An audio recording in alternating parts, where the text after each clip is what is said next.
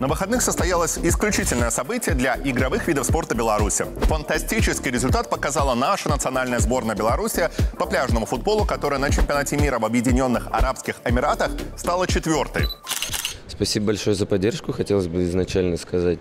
Ну, конечно, когда вот мы играли в полуфинале, хотелось повыше залезть, потому что были возможности. Очень обидное поражение было от Италии.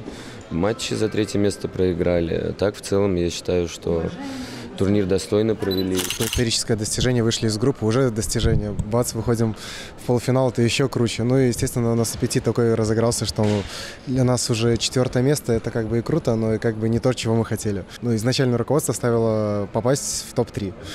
Ну, то есть это прям такая наша идеальная была задача. И когда мы так посмотрели, какая у нас сетка, как мы одолели португальцев, то есть, ну, казалось бы, вот мы считали наш, но пенальти это лотерея, поэтому им повезло чуть больше.